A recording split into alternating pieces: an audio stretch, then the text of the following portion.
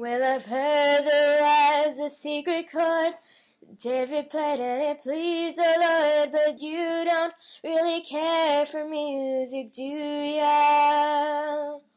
Well, it goes like this the fourth, the fifth, the minor fall, and the major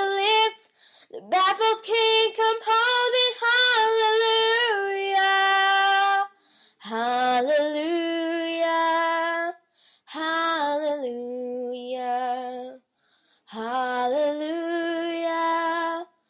Hallelujah.